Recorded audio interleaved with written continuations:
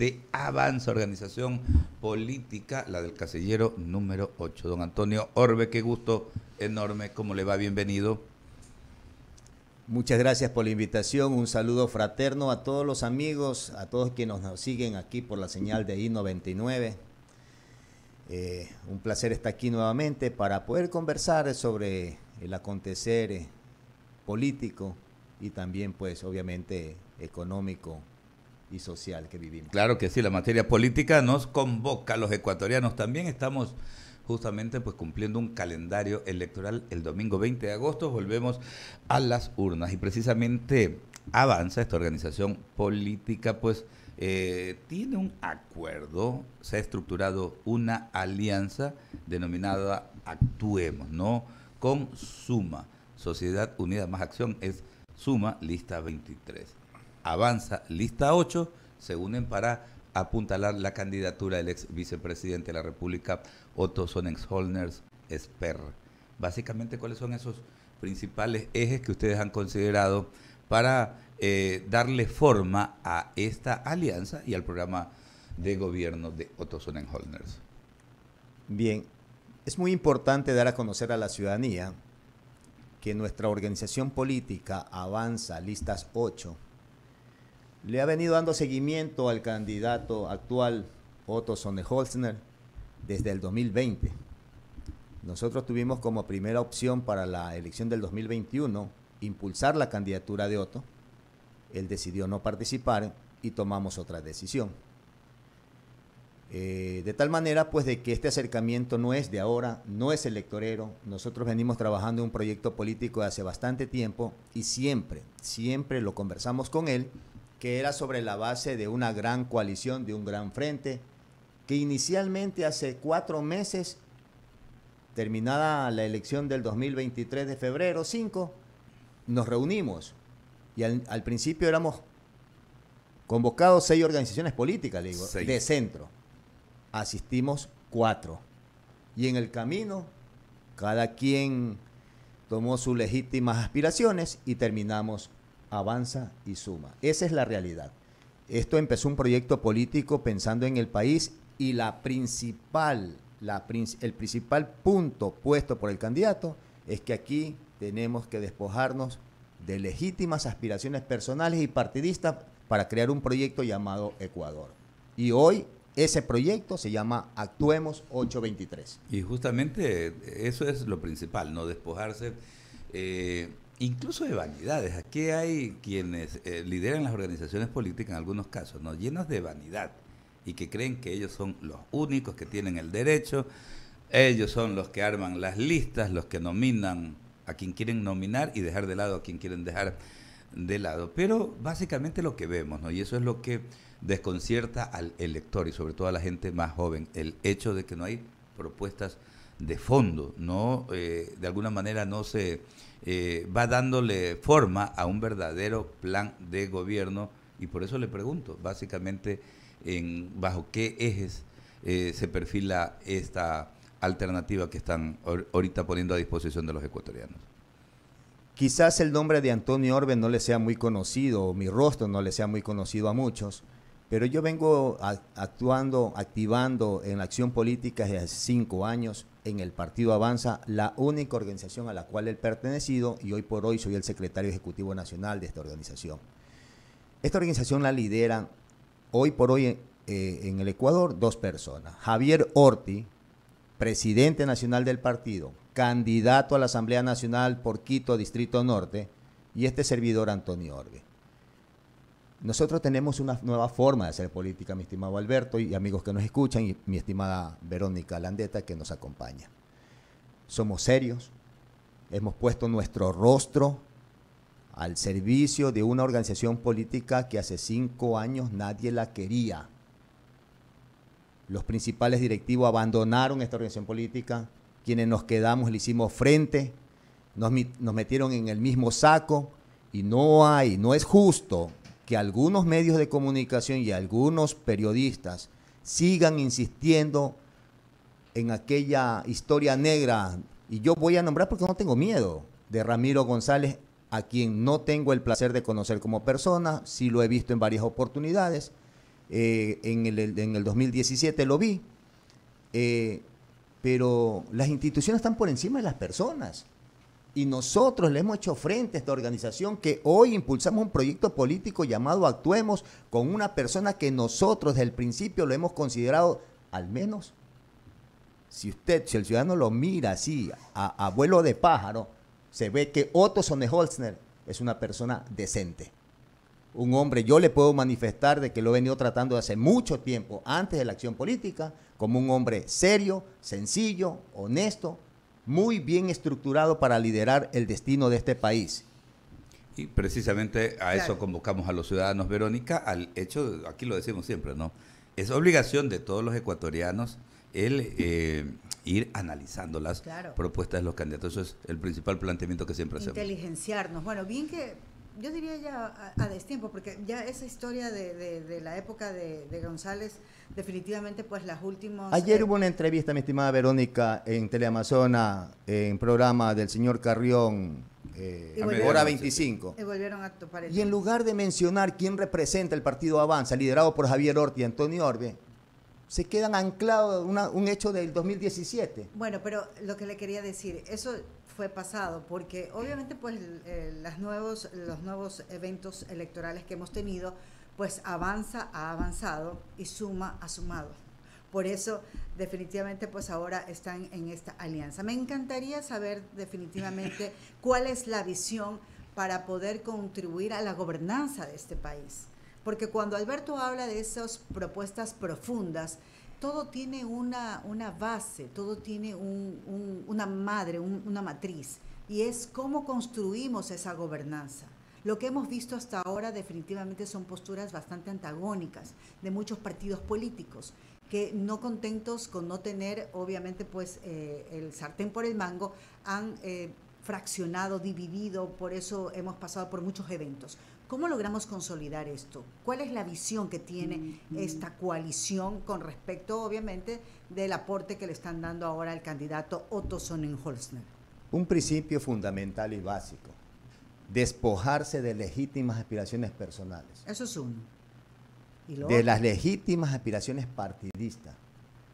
Cuando usted va a una mesa de negociación y busca un acuerdo en beneficio del bienestar de la ciudadanía, lo que eso representa más del 50%, porque desafortunadamente nuestra clase política tradicional es muy egoísta, es muy egocentrista. Si usted entra en un proyecto político donde usted dice, pongo a disposición cualquier aspiración personal y construyamos un proyecto, eso fluye. Y eso es lo que ha pasado en esta alianza Tanto es así que el primer candidato a la Asamblea Nacional ni siquiera es un representante de las dos organizaciones políticas. Porque Guillermo Celi está segundo en la lista. Quien les habla que tiene un accionar político decente, serio, transparente, yo no es que esté en los primeros lugares. ¿Cuál es la visión? Nosotros le hemos dicho a la ciudadanía que la única forma de poder levantar este país es a través de un proyecto sencillo. Paz, plata y progreso. Paz en las calles ecuatorianas. Plata en los hogares y progreso en la familia ¿cómo ecuatoriana. ¿Cómo hacemos que esas eh, tres eh, frases marqueteras me den una realidad? Ah, el problema del país no solamente es la inseguridad, es el principal, pero no es, eso es la inseguridad y toda la violencia que se encuentra en las calles no es la causa, ese es el síntoma, ese es el efecto de una política pública y económica mal llevada por este gobierno. Un nuevo gobernante que vaya a asumir el liderazgo de este país, lo primero que tiene que hacer y es la propuesta de Otto, inyectar 2 mil millones de dólares en obra de infraestructura a nivel nacional. Es necesario la inversión pública que ha sido cero en este país. Y le habla un ingeniero comercial. Otto es un economista. De tal manera que usted va viendo cómo esas mentes preparadas, capacitadas, con experiencia, empiezan a crear y a formar un proyecto político. La reactivación económica urgente. Muchos dicen, pero ¿qué vas a hacer en año y medio? Se puede hacer mucho, pero es importante, pero es importante el protagonismo del Estado. El Estado tiene que recuperar su rol, porque no puede ser posible que cuatro bandas organizadas, por mucha trayectoria y por mucho, mucha publicidad de producto de los temores que se provocan, no puede estar por encima de un Estado.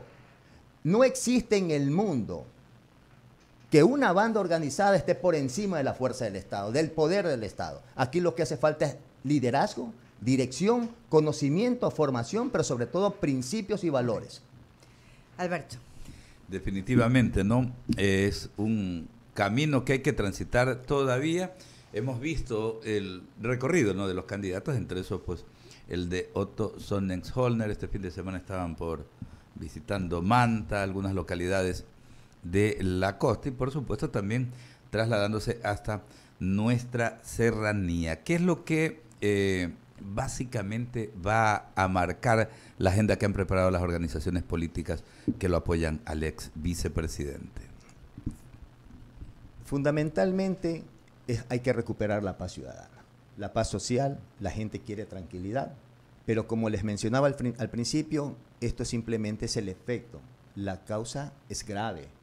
El problema del país que no se logra todavía sentir, pero quienes hemos analizado y tenemos un diagnóstico claro de la situación del país, sabemos que el problema económico es gravísimo. ¿Por qué no se siente? Porque aún hay flujo en el entorno, en el mercado, producto de qué? Ya sabemos de dónde provienen esos flujos. Pero cuando usted combata el crimen organizado y empieza a cortar esos flujos truchos, chuecos, vas a empezarse a sentir la verdadera necesidad y la verdadera crisis económica. Por ello, el Estado tiene que recuperar su rol, tiene que haber una inversión pública en infraestructura para poder levantar todo lo que tiene que ver con infraestructura vial, pero sobre todo lo que se viene, que es el fenómeno del niño.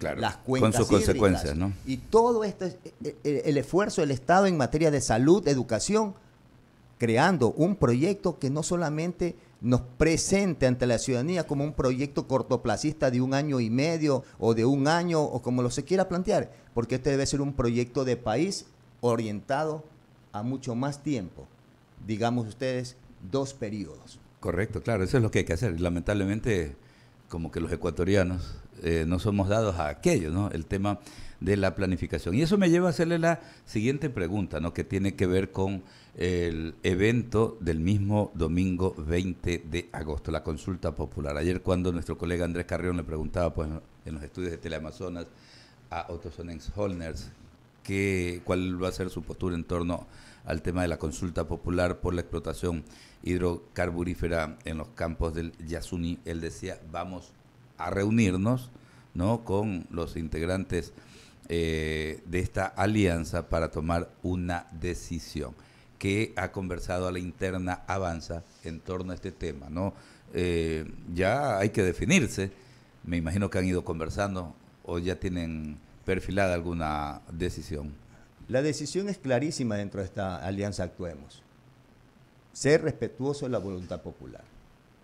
Si la ciudadanía decide de que no se explote en esa zona, el gobierno, el nuevo gobierno, liderado por Otto, tendrá que hacer todo el esfuerzo necesario para poder lograr cubrir ese faltante de esos recursos que se estima que están alrededor de los mil millones, de, mil millones de dólares, mil doscientos, pero vea usted que nosotros tenemos una gran ventaja con respecto a otras propuestas y a otras candidaturas. Pero, pero le preguntaba porque de todas maneras, o sea, tienen que eh, públicamente dar a conocer cuál es la posición. O sea, por supuesto, no en la eventualidad de que él gane tiene que respetar, así haya sido eh, en la línea contraria de lo que él considera. Pero ustedes como organización.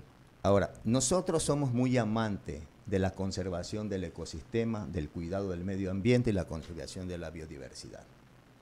Esto ya le da una pauta a la ciudadanía de por dónde va la línea de quienes estamos al frente de una organización política, particularmente le hablo como Avanza, nosotros somos una organización política de centro, nosotros somos socialdemócrata y como tal somos amantes de la vida y de la biodiversidad y del ecosistema. De tal manera que es, aquellos pues que estén en función de esa línea tienen una puerta abierta.